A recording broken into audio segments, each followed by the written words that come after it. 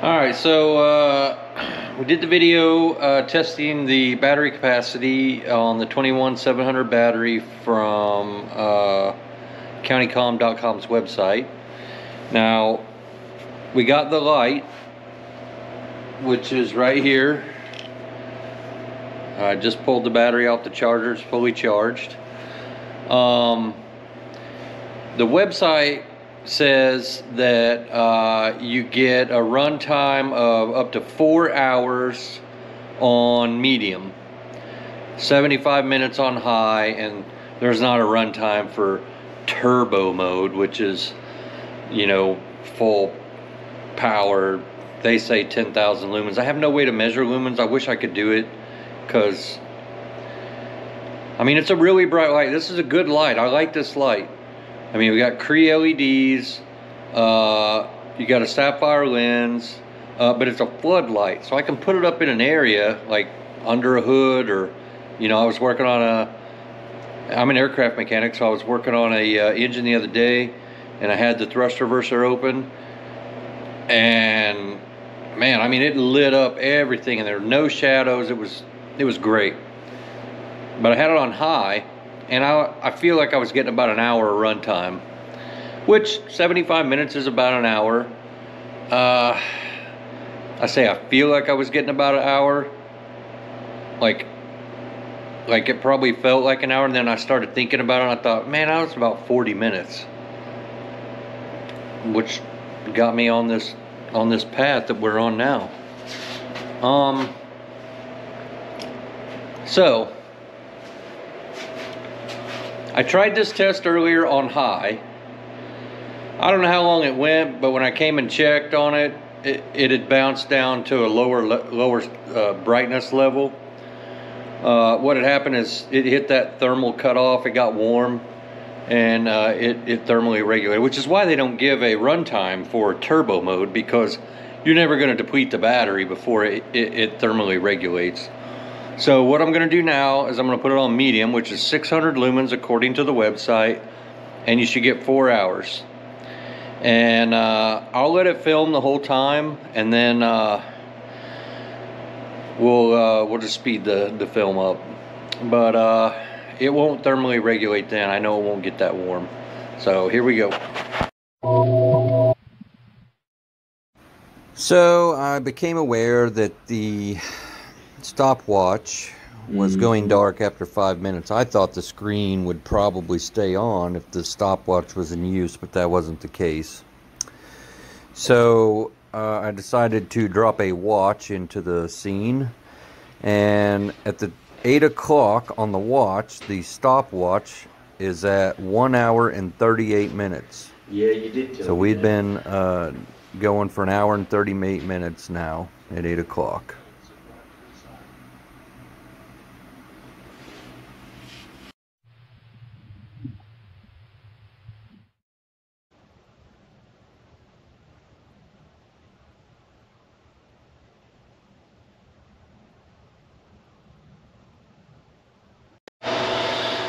All right, so uh, I've removed the battery from the light because it's no longer able to run in your three primary modes. You can't run it on high. It won't run on medium, derated down to uh, the low level. So the question is, what uh, voltage is the light uh, programmed to uh, to just no longer work, really? I mean, what, what's the voltage cutoff? So I've taken the battery out, stuck it on the charger, uh, and we're at 3.3.2 volts. That's our voltage cutout. That's a proper voltage cutout. It's where it should be. And that's also where we, uh, uh, when we discharged it on the charger to do a capacity test, that's, that's also what we had set the voltage cutout to. Well, how'd we do? Well, our actual run time was two hours and 24 minutes. The advertised run time was four hours on medium. So that's a difference of, I don't know, 70, Oh, it doesn't matter. Um, the battery, as you recall, our test, uh, we it's a 4200 milliamp hour battery. We're going to say 2200 milliamp capacity was the real capacity. Um, that's 52%. Um, so, uh, 184. So 76% uh, difference uh, in our run, stated runtime. Uh, I did find where the uh, temperature cutoff is 114 degrees Fahrenheit. Just something to note. Um, so I think the bottom line here is the battery is junk. Uh, I'll tell you that uh, I sent an email to uh, Mike at County Com. Let's see. And I said uh, in my email that, uh, you know, I have this light and uh, I asked him, I, I, I mentioned that I was going to do a test on the light. I mentioned on his website that the run times uh, were listed and you didn't mention the power source. Were these calculated run times or were they tested run times? Battery capacity impacts runtime. Please elaborate. What was your power source? Well, my response was nothing. He says the run times are based on optimum temperature use at 70 degrees Fahrenheit since thermal limits are the other part to the equation which plays into efficiency too. Whatever. Uh, I mean, yeah.